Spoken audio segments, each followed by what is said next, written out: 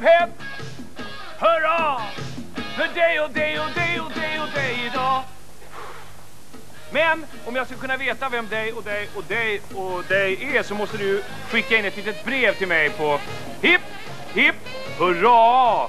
Sveriges Television, kanal 1. Och så ska det stå 10903 här nere också. Och sen glöm inte... Eh, oh, jo, just det. Fira datum här uppe. Okej, bra. Hipp, hipp, hurra! Va, om man säger så? Woho! Nu fortsätter vi med ett program för er lite större barn.